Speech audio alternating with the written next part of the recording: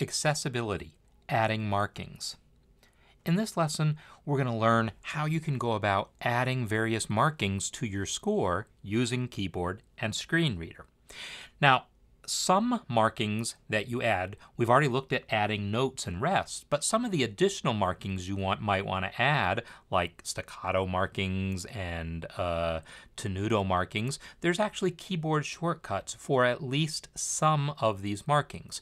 But for many of the markings we might want to add, we're going to need to use the palettes. And that's what we're going to focus on in this lesson, is how to navigate the palettes using the keyboard.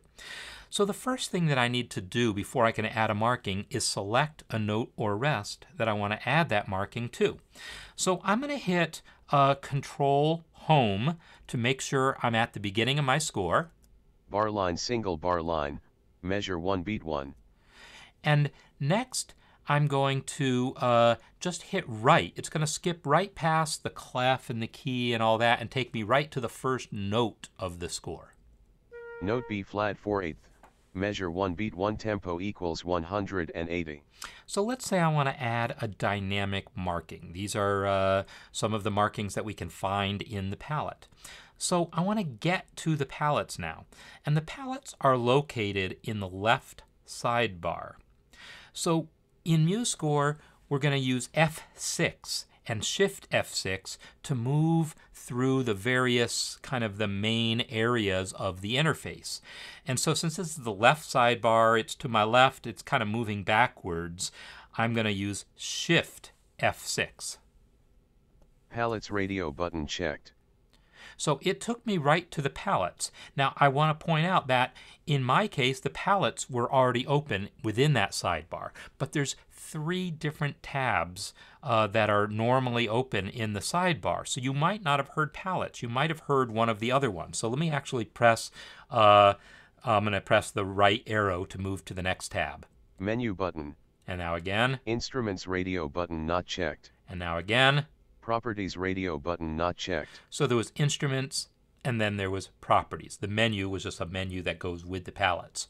So these are the things kind of with, those are the three different tabs. So if palettes hadn't already been selected, um, let me hit right arrow again. Palettes radio button checked. So palettes is checked. If it hadn't been checked, you would have wanted to press space uh, to make sure that the palettes is the one that's checked as opposed to instruments or properties. All right, now that we're there, I want to enter the palettes area. So I'll press tab to enter the palettes area. Add palettes button. So once I've entered the palettes, the first thing we have is a button to add palettes. And uh, this can be useful to, because MuseScore has a limited set of palettes that it displays by default.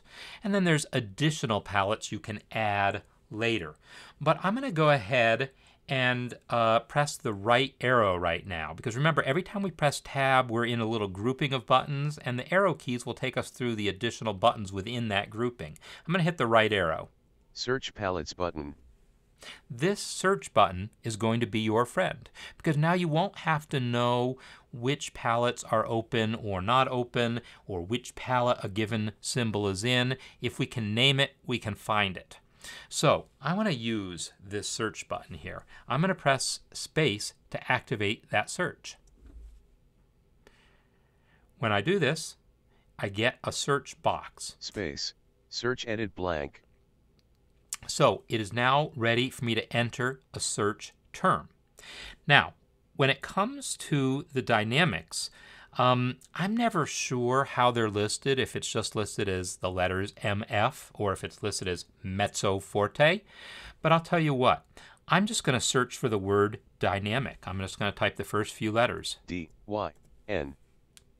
So I am now finding all of the elements that have dyn in them anywhere. So this is going to be all of the various different dynamics. So I now want to kind of move through the list of results and find out, uh, well, what do I have? So in order to get to the list of the results, now I want to press Tab to get in there.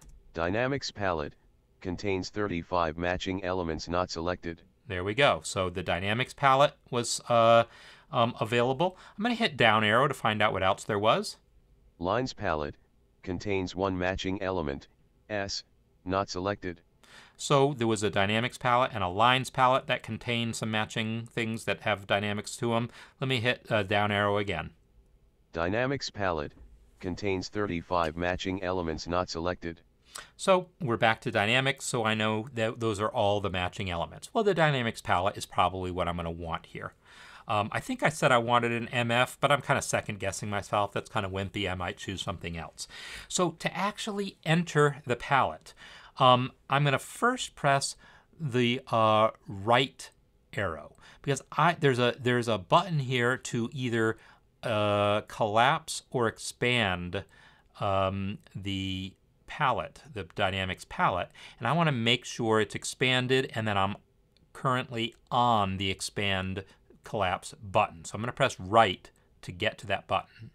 Collapse button. So it says collapse button, so that means the palette is currently expanded, which is great. That's what I want. Because it is now currently uh, expanded, uh, I'm just going to press down to enter the palette. PPPPPP not selected. All right, well, it reads the letters. There we go.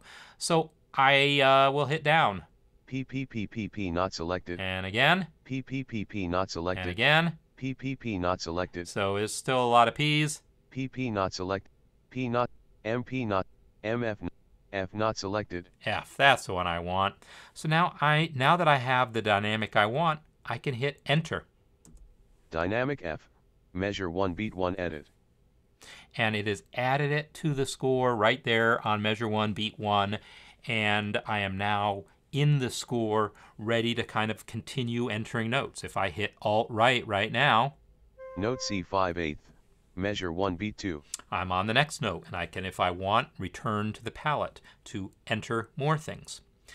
So that was using the palette search mechanism. And in that case, I, you know, I searched for uh, dynamics because I wasn't sure what dynamic I wanted. If I had known that searching for F would get me just to that marking, I would have typed it. But, you know, F is going to match a lot of things. There's a lot of markings that might have the letter F in them. So I, I think that searching for the dynamics palette was a little smarter. But if you really don't know what you're searching for, you don't know the name of the thing to search for, we can just traverse the uh, palettes directly. So let me get back over to the palettes area with Shift F6 again. Palettes radio button checked. And now I'll press Tab to enter the palettes again. Search edit selected done. So I'm in that search box. If I want to actually clear the search and just um, uh, traverse the entire list of palettes, I'm going to press Tab. Dynamics palette uh, contains no. 35 matching elements not selected. I'm not going to press Tab. I'm, I'm now going to press Shift Tab to get back to the search box. Search edit selected done. And now I'm going to hit the down arrow. Done. Clear button. That's the one I want. The clear button. I want to clear that search box. So I'll press space. And space. Add palettes button. So the, the search box has now cleared and I'm back to the add palettes button, which is where I was before I started that whole process. At this point, I should be able to then press tab to enter the main palette area, the actual list of palettes. Clefs palette not selected. So there's a list of palettes here, clefs, and I'm just going to keep hitting down arrow. Key signatures palette not selected. Time signatures palette not selected, tempo palette not selected, pitch palette not select, accidentals palette, dynamics palette not, articulations palette not selected. Yeah, articulation sounds interesting. So if the articulations palette is the one we want, I want to take the same approach that I took before of making sure I open that uh, um, palette. When I did the search result, it turned out that the first search, the first palette matching was already open. But here, I'm going to probably need to open this myself. I'm going to hit the right arrow, which is going to take me to the expand or collapse button. Expand button. So it says expand button. That's telling me it's currently collapsed. So I'll press space to go ahead and open the palette. Space. Now the palette is open. And now that the palette is open, the down arrow will take me into the palette. Slur not selected. Accent above not selected. And I'm just moving through to hear some of the uh, articulations. Staccato above not selected. Staccatissimo above not. Tenuto above not selected. Lower. Tenuto staccato. Marcato above not selected. And so forth. So you can add dynamic, I mean, uh, articulation markings here. So I've got the marcato. Sure, why not? I'll hit enter. Marcato above marcato above. Measure 1 beat 2. So that's how I was able to then add an articulation. So you can either use the search facility if you kind of have an idea of what you're searching for, or you can just go through the list of palettes to uh, um, find the particular type of marking that you want.